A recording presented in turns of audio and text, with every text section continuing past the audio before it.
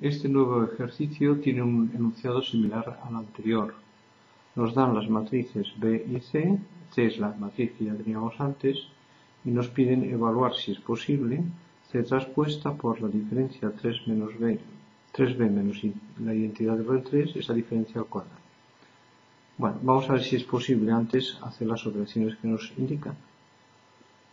Volvemos a llamar H a este resultado y tendremos h es c traspuesta por 3b menos i elevado al cuadrado.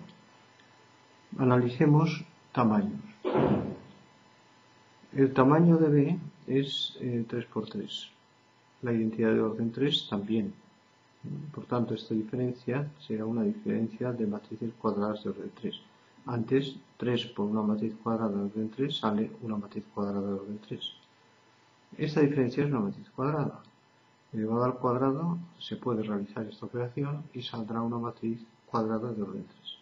En definitiva, como C traspuesta es una fila 1 por 3 y esta matriz es cuadrada de orden 3, son multiplicables y el resultado será una fila de tres números, o sea, una fila 1 por 3 de tamaño. Una vez hecho este estudio de análisis de tamaños, lo único que cabe ahora es pasar a hacer operaciones. La primera sería, nos interesa la traspuesta de C. La columna 1, 3, menos 2 se convierte en esta fila. Ya tenemos la traspuesta de C. Ahora lo que nos gustaría es calcular la diferencia 3b menos la identidad de orden 3. Bueno, esa diferencia la vamos a llamar S.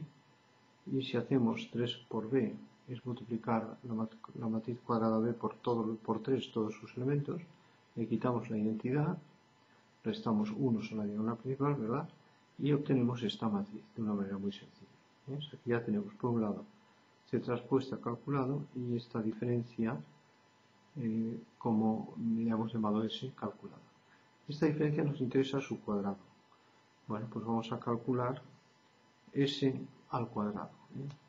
¿Cómo calculamos S al cuadrado?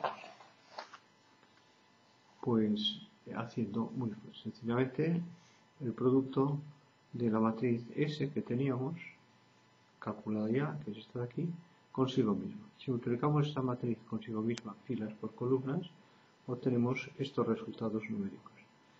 Este, esta matriz S cuadrado la llamamos U.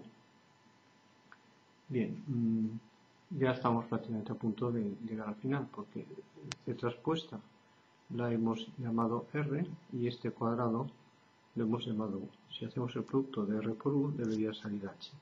Pasamos a hacer este producto de R por U. R es la fila calculada anteriormente. Bueno, es la fila 1, 3, menos 2, eso es. Y luego tenemos la matriz U, es esta matriz cuadrada que hemos obtenido recientemente.